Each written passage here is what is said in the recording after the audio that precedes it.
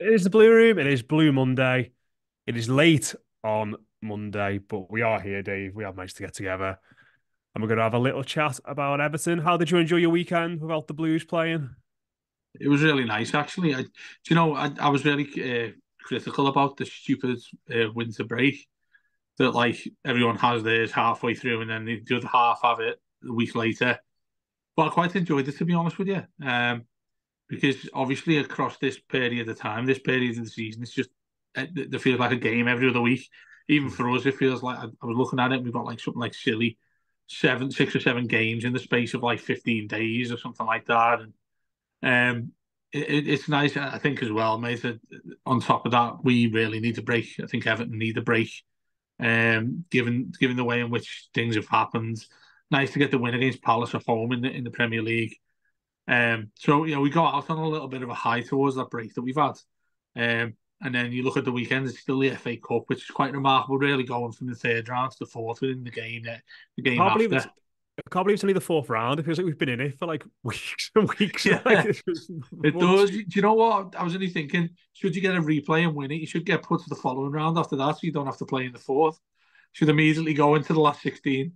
I just um, because it was like on a Thursday night and like the whole stuff around Calvert Lewin's red card and all the carry on after that. Like it just feels like it's been going on for ages. And like we're yeah, actually only in the fourth round. But yeah, like you said, at least at least we're still in it. We've got we've got Palace in a couple of weeks as well, haven't we? I feel like we play them every other week at the moment. Yeah, we? yeah, we've got um, Palace in four or five days. I think I think uh, Hodgson will be gone by then though. Yeah, we've got quite a good record against them now, haven't we? So I don't mind it yeah. so much really. Um, at home as well. But yeah, it's uh, do you know what like there was a, a, point over the weekend when I was like, I wish we were playing because, like, honestly, all the footy I, watched over the weekend that was I thought was crap. Like, yeah, the Arsenal Palace game was just so one sided on Saturday lunchtime.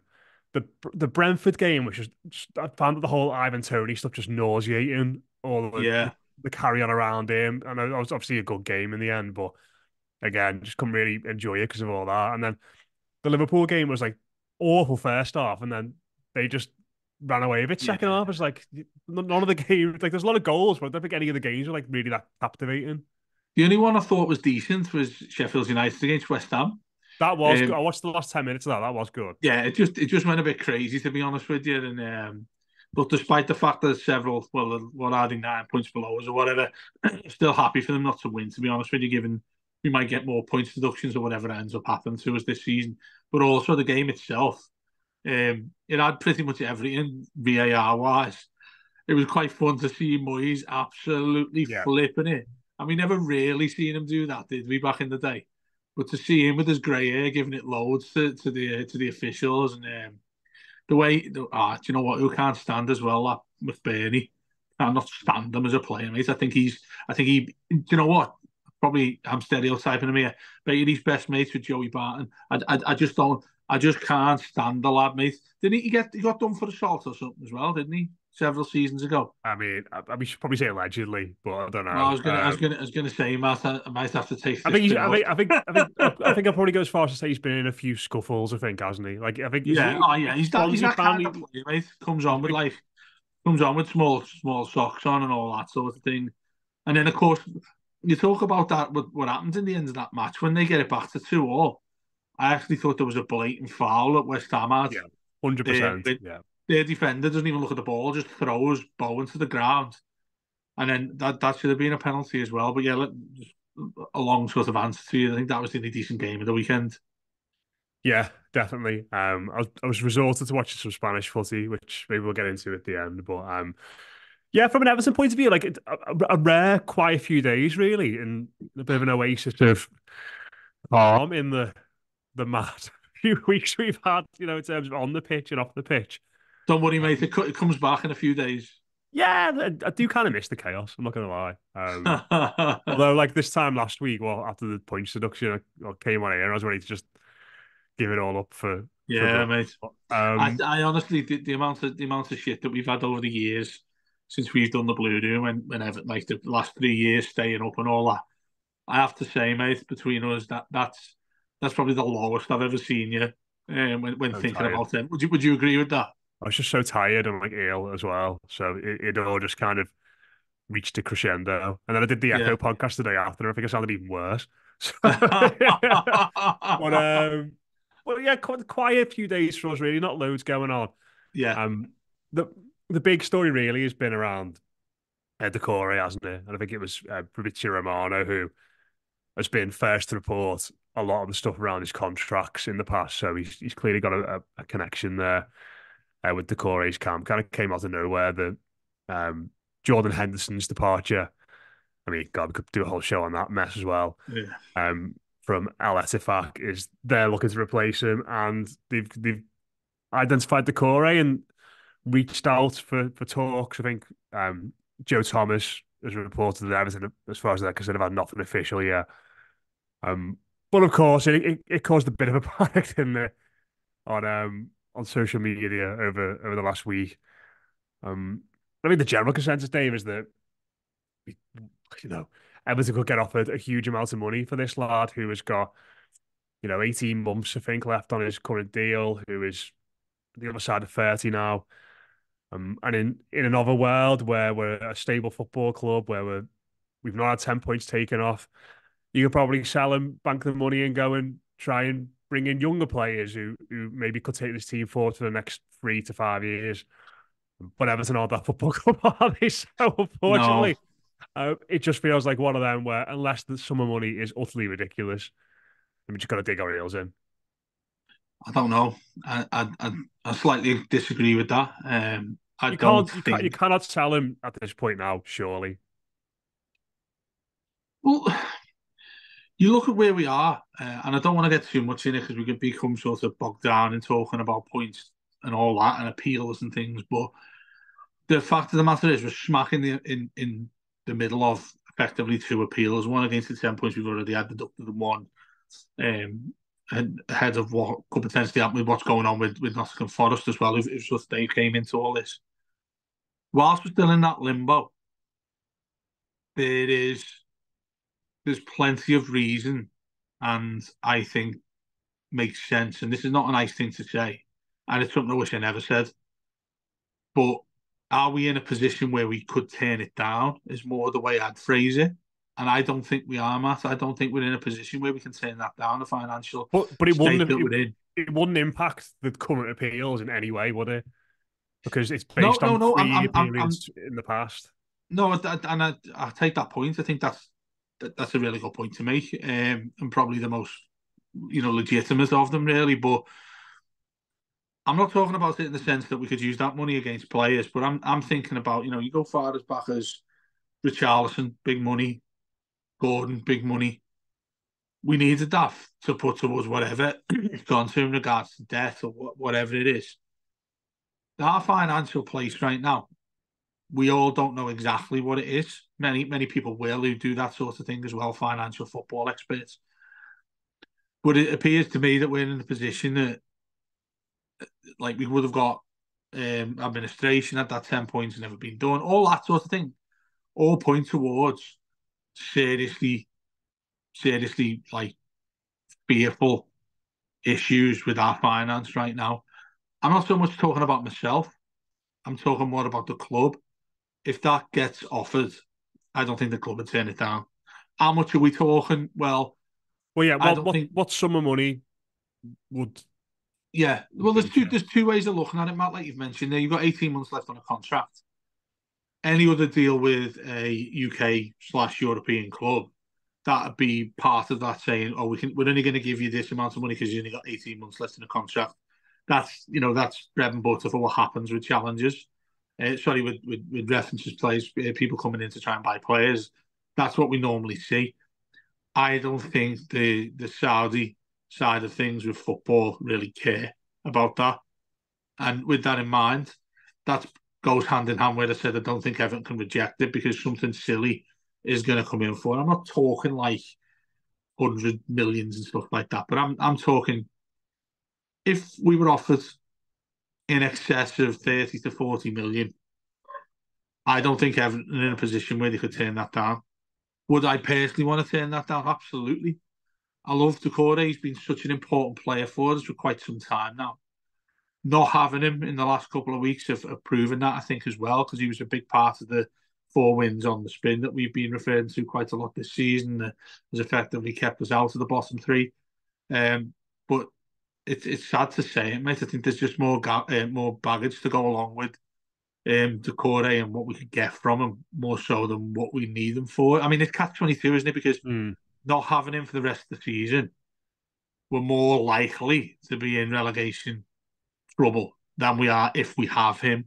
So it's a very, and obviously I don't want to I don't want to praise them, but it's a very difficult answer to come. I hope Sean Dyche is involved in this first and foremost uh, in how this is dealt with, um, because he's the most sensible person we have at the football club right now. Obviously, you don't want this falling to the financial people that are there. Um, well as as good as he could possibly be at his job, we don't know because he can't sign players these days. But um, as long as it goes to somebody who's able to handle this efficiently. I mean, the other side of it as well, Matt, the, the, the sort of the third facet to this is look how, how long's left in this transfer window. If this is guaranteed to happen, it's got to happen in the next couple of days. Yeah, I, I, I don't think it's guaranteed to happen by any means. Like, if no, I don't think I don't think it's guaranteed. I mean, I've I've just been sort of going around the houses of why I think it could potentially happen. It feels like it probably won't happen. I don't want to, you know, touch wood here saying that. Like, it, it feels like reports would have progressed more from last week if, if this was going to be a thing. Um, but I don't know. Like, he's probably one of two players I'd say this month that like in the entire squad I'd dig my heel and dig my heels in and say can't sell him. And the other one's the goalkeeper. Like I, I think anybody else, like, ever... maybe yeah, top class now, um, mate. But if, I think if we got offers for anybody else reasonable, and like, I mean, even even Branthwaite, if someone comes in and says, you know, eighty million pounds for him, then you'd have to you'd have to seriously consider that. That that that is that is a crazy amount of money for a lad He was absolutely brilliant, but has got a a very short um catalogue of good Premier League appearances. Like doesn't mean I'm not the rain doesn't mean I think he's gonna go to the very top, but that that is serious money we'd have to consider. But no, I you mean. It's it's a history of football, just quickly, it's a history of football, is where you get world class players. They they make it for two years and then either fall fall apart in terms of injuries or just fall away, and and yeah. that, that happens in football, and, doesn't it? It's no guarantee, is what you're saying. And like we we have got like the the nowhere near that level, but we have we have got other central defenders. Like we have got Keane and we've got Godfrey, and like I'm wincing myself saying that, thinking about them playing regular games. But we have got bodies who can play in that position and do okay. I'll, I'll go as far as say that they, they could do okay at times. Do a job. Being, we're being generous Doucouré when when is not there, that this whole thing just falls apart, doesn't it? And like you only need to look at the record of Everton with Doucouré in the team compared to without Doucouré under under Sean Dyche. I think Thursday, sorry, um, Wednesday's game against Palace was the the first time we've won under Dyche without Doucouré in the starting eleven. Yeah, that, that, like that was a slog, wasn't it? That wasn't like a, a convincing win where we looked at yeah. It was, it was one kick of a football that decided it between two teams who are probably quite as bad as each other on the night. He, he's just so integral to, to all of this. And I think as much as you could sit there and you could, you know, you could go through all the reasons why in normal circumstances it didn't make sense to sell him. It, it'll be an inflated fee. He's 31 now. He's getting a few injuries here and there. He's always been quite a, an injury prone player, hasn't he, up until recently, but they're starting to creep back in again now. Um, you could invest it in other parts of the squad, etc., etc. But I don't think any of that offsets the potential financial catastrophe we could face if we if we went down effectively. Because if it, you know, I've I've, I've been adamant, haven't I, on these shows we've done. Like, I don't think we're we're in a releg. Well, at the moment, you look at the table and we are in a relegation battle, but I don't think we're going to be in relegation trouble come the end of the season. If he goes, a big part because of him, no matter. Yeah, if, if he goes, I mean, you look at his look at he's been scoring one in three effectively from attack and midfield for a team that have been almost exclusively, excuse me, around the bottom three since the last year. Like that, that that is an incredible feat when you when you think of it like that. So I think he's the most important player we've got at the football club. And in this era where Everton are living hand to mouth, living season to season, game to game, trying to just scrape through and keep the head above water. I don't think you can afford to to let a player like that go. Um, obviously, if huge money comes in, if the player agitates for it, which I don't necessarily think he will. I think he, he seems quite settled. Um, yeah. He seems to like the manager who's obviously come in and revived his career since um, Lampard has gone. Um, so I don't I don't think it'll happen. Um, in the summer, maybe it's a entirely different story. Um, it was still a Premier League team, and they come back in for him now. But I think right now, um, the idea of watching Everton without him for the rest of the season is um would be a big concern because you don't know where that money's going to go. And listen, Dave, we could, we could have the best scouts on planet Earth, but going and finding a midfielder now who yeah. fits the way Dyche plays, who scores one in three, who knits everything together in the unorthodox way that he does, it's it's close to an impossible task, I think. Where do you put Dyche into all this, though, Matt? Because I don't know, maybe I don't, really think, I, don't, I don't really think he'd have much of a, a say. If if so, if no, no, I don't mean that. The, the, the side of it that I was going to say was if with him being out for such a long time now, is there a responsibility for Dyche to try and sort it out?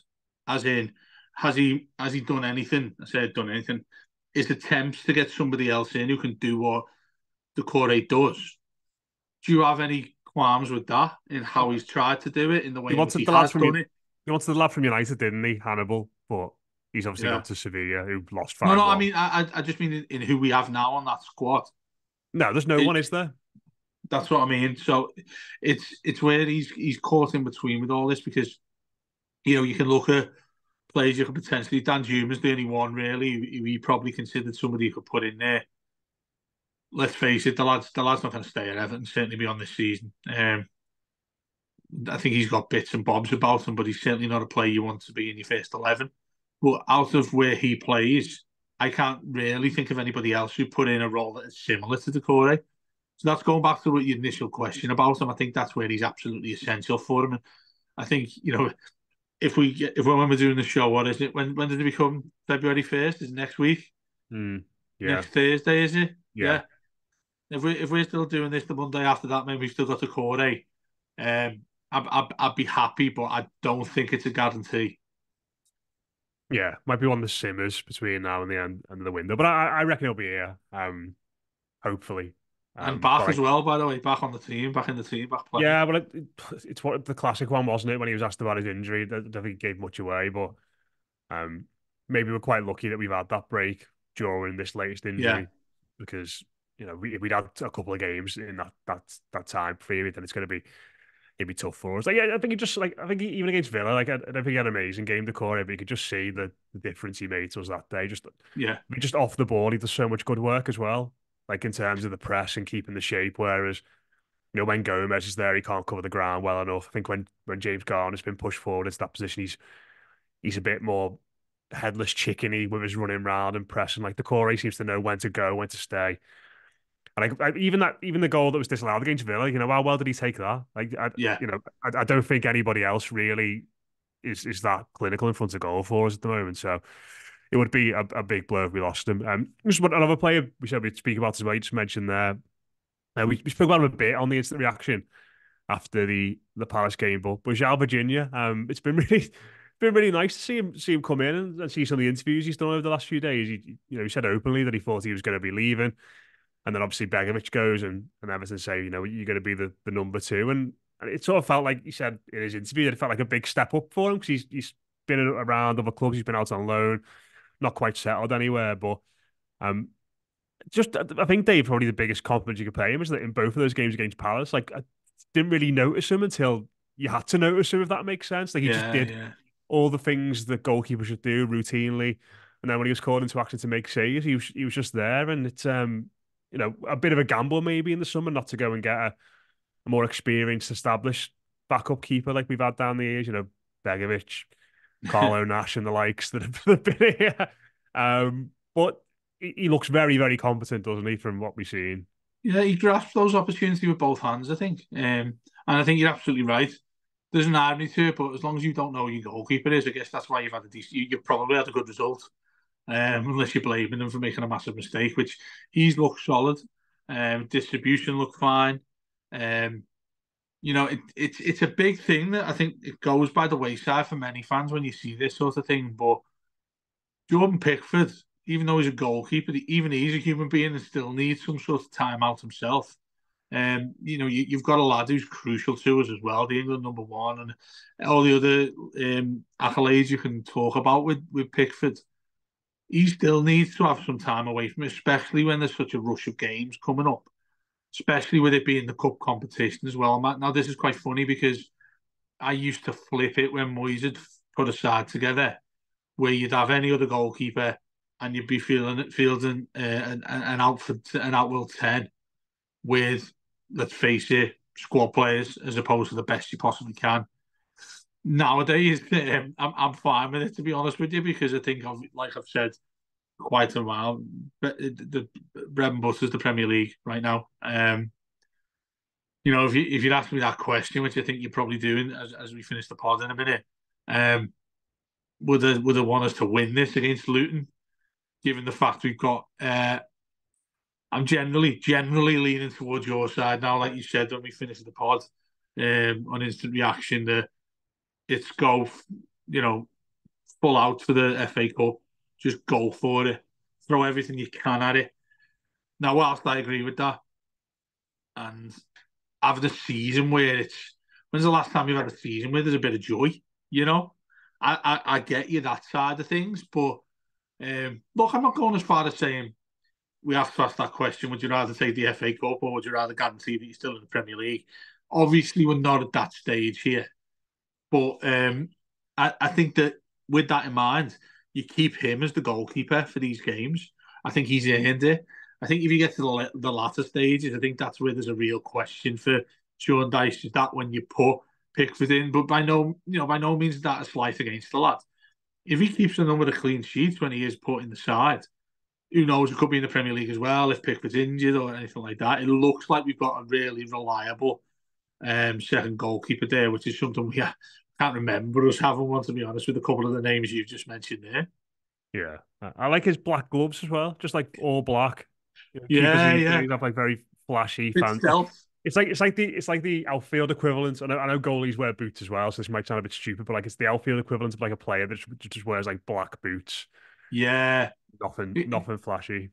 Well, I know we wanted to have a quick word on him, but Gomes, Gomes always wears black boots, and I, I do like that. It's proper throwback stuff these days. Unfortunately, I know players just always want to look the part. Does me head in when anyone does that little cut on the back of the socks as well. I'm like, what are you playing at? Why yeah. are you doing that? And I'm sure they'll come out with some reason, like it, it means that me it doesn't hurt, it, me calves don't have much chance of getting hurt or something like that, which is completely ludicrous. But yeah, I'm a big fan of the stealth black of uh, Virginia in goal.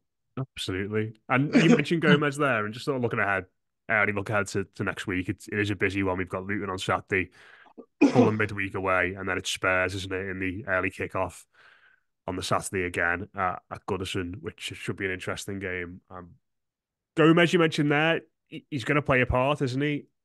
How, how do you think he'll use him over the next the next week or so? It sort of feels to me like the the the cup game. I think he'll probably start that, and maybe have another look at him in that number ten position, and then it won't surprise me if he's just sort of managed and and nurtures a little bit through the, the next two in the Premier League. You know, I, I could easily see us going to Fulham and playing a bit more defensive. Hopefully not, but maybe like it wouldn't surprise me went like back to the back five, or you see maybe Harrison coming into that central position and, and playing behind the striker. But but Gomes yeah. is going to have a role to play, isn't he, over the next next week or so? And I think he'll he'll definitely start one. He'll feature in the other two. He'll come on off the bench. I think could possibly see him he'll rest him at Fulham, maybe bring him back for Spurs. Um, I think I could see that happening, but I think definitely against Luton, you're right. I think he's going to start that game. Probably one of the first uh, players on the on the team sheet. Um, you know, when when his Everton career ends, and we don't know when that could be, you know, winter or whatever. Uh, sorry, in, in, the summer or whatever. It's going to be in the um, summer, isn't it? Well, yeah, contract, yeah. isn't he? Yeah. Yeah. Uh, is his contract up then? Is it in the summer? Yeah. yeah. I mean, he's had the most um, peculiar of contracts with us. Sorry, uh, careers with us since he's been there. Adored probably too much when he's hugging people for charity and um, various things he does with his hair, his hair, all of that stuff. A lot of crap for me, and it certainly should be now for everybody, given how crucial our matches are these days.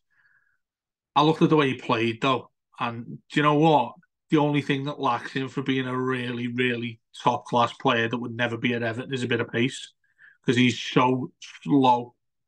And I mean, I mean that in literal sense. I know we're talking about Premier League players here who should be at least be able to, to, to sprint, but the lad needs a almost like a square 10 yard area where he has to operate. Otherwise, if you're asking him when the other player, the other team turns around, you're not you're not getting him heading back. You're not getting him trying to keep um, next to an attacking midfield player from another side, and that's the real difficulty. It's a real shame, really, because he's. Um, I think he's more of a luxury player, and you know, which again is difficult to say given he's been out so much and he's been away from the club on loan, but he is, and I don't think that I trust enough the people in and around him that makes him a permanent and a regular player in the eleven. Um, I don't. I don't think. I say trust the wrong word. I don't think he's got the capability of being somebody you trust as much as everybody else around him. And it's obviously going to be Onana. Um, and you know we haven't seen Idrissa for months either, have we? Um, well, yeah, yeah. You know, maybe maybe he comes in at some point and has a point to play there, but um, that that midfield area is crucial, and, and, and I, I'm thinking it does it affects Onana as well and the role he's playing in that because knowing one as, as a bog stand, uh, bog standard and end to end midfield player for us, I, would like to see him more in, in, in, a stricter role in that midfield, given when we go away from home as well, when we don't have as much as the uh, as much as the ball. That's probably a little bit more tailor made for Gomes. If you're going away and you don't have much possession of the ball, he's somebody who can retain possession. Got a great pass on him. Um, he, he, he, he's happy to pull out a, a, little trick or two in midfield that keeps you the ball. He works hard. Don't get me wrong. Mm. He's slow, but he works hard, and um, I, I think he's a big. He's got a big, big part to play for us. Um, whether that's FA Cup or whether that's the league, I think he's still going to play a lot. Mm. I, I don't think you'll ever see him play as one of the two deeper midfielders. Oh, he won't be first when, starter. No, no. Like, I, I, I, think the only I think the only time you see him play is one of the deeper two midfielders where Onana and Garner play is when we're chasing the game, like over two down, or God, God forbid, we're three 0 up and he wants to make some changes, which you know, Everton scoring three in a in a game uh, feels a long way off at the moment. But I, I think we'll exclusively see him playing as a 10 when the match is on a, a knife edge because like you said he's not got the, the legs to get around anywhere. And I think I think that's what made him such an exciting player when he was a when he was at Valencia in Spain and why Madrid and Barca both wanted him because he had all the technical ability but he had that he wasn't he was never fast but he, he had that sort of shift where he could just get get a get a yard and just get past the player. Yeah and he had that little little bit burst of acceleration that made him really effective. You know he played out wide quite a lot when he when he was in Spain earlier in his career yeah. so um but he, listen, he's he's here. He's got a few, a few months left, and because we said it, it's hard for us to turn our nose up at, at any footballer that have got the the kind of quality that he that he's still got. It, it's still there, as we saw in the game against Spurs, as we saw. It is sad as well. well. It is sad as well, Matt, to, to get a job. he's, he's got to get a, a, new a new club if he's he's got to play for that at the very least. And often that's when you get the best from a player when they're desperate. And then the thing, the, the sort of the age old thing, you get to the end of the season and think, wow, didn't he play well? He he's brilliant. He's been our best player for the last five months. We need to give him a new contract. Well, he, I hate that thought of players, but it still does happen. He definitely still, uh, you could see him going to Spain, Italy, France, where he was last year, and still being effective. Like, yeah. Uh, How old is he now, Matt? Oh god, I'll, I'll, guess about 29, but I'm not entirely sure. Yeah, I think he's closing to the end of his 20s, definitely. But he's he, he, he's still got the awareness, he's still got the technical ability, hasn't he? Like the, the, the one thing which, like you've said, which is his kryptonite, is the pace of the game, isn't it? Yeah, he's 30 now, so like the pace of the game in the Premier League is is so much quicker than those leagues, but those leagues are so much more technical than the Premier League. So yeah, you could go there. I think that's probably why he did well in France last year. Um, yeah. So we'll we'll see on that. But you know, maybe in the similar ways that what Yerry Mina did last season, where you know it's, it's one one last hurrah. Um, yeah. Before he before he wraps up his keep us up, wave goodbye, and give him a few hugs then. Oh yeah, I, I've I've always liked going. I've, well, might be biased because I've got a signed shirt by him upstairs in, in my study. Oh yeah, well, how did you get that? Uh, so I got so um, my groomsman got it for me as a present before the, the wedding. Oh, so it's a brilliant. it's a Portugal shirt. It's a white Portugal shirt. It's got. It's amazing that. To Matt, all the best from Andre, 21 underneath. Oh, mate, that's lovely. That I like that. Yeah. I like that sort of thing. You know, it's good. It's good. And yeah. then whenever when he went terrible, every time I was on one of these, burn it, try to burn it. Yeah, when, when, when, when, when he went terrible, every time I was on one of these with Mosey, he was like, "Can't believe you still got that shirt up. He's shite now." But listen, it's back up. It's back up. He's having a renaissance at Everton, yeah. and Um, you know, European Championship winner as well, 2016 Barcelona player. Yeah, Andre Schürrle to be hung up in ours. Yeah, pride. Uh, for as long as I'm allowed it to be there. Um, Jumping just... up and down on it when he's uh, if we get relegated and he scores no goal, mate. Ah, oh, it's not his fault. Not his fault. I'll always stick up for Andre. Uh, just before we wrap up, Dave, any any football over the weekend that caught your eye? Uh, well, I've, got a, couple. On, I've got a couple, uh, both from Spain. Uh, Real Madrid, 3 2 winners, were they against Almeria in a very controversial game. They scored in the 99th minute. Yeah. A winner. Bellingham scored two goals and, and set one up. Um, he is absolutely ridiculous. Scored 14 goals in the league already. Yeah. It's ridiculous if you look at his record. He's better than one and two uh, across four competitions. I mean, best you know, player, is, he the best player? In, is he the best player in the world at the moment? I mean, it's hard to dispute. It's certainly an argument. It's hard to dispute it as well. I think, um, particularly a, a, midfielder who's scoring better goal rates than a striker. He's top score, joint top scorer in the Spanish league. Yeah, I mean that, that's we that, that sort of rule that, that that sort of that sort of thing doesn't happen. It does not happen. In fact, I can't remember when that sort of thing happens. It's not like we're talking about number ten either. We're talking about a midfielder that has absolutely everything in his game. Um, I, I initially, when he went to Madrid, I had a little few doubts about him going there so early, and thought he was playing his trade at Dortmund superbly well. I'm glad he went to there because his dad or someone's a Liverpool fan, but I don't think they could even they couldn't afford him anyway. But he's not going to be leaving. He's going to be like Zidane uh, uh, was at, at Madrid. Um, you could never see him leaving there. And if he did, you could never see. You could only see Manchester City affording to get him.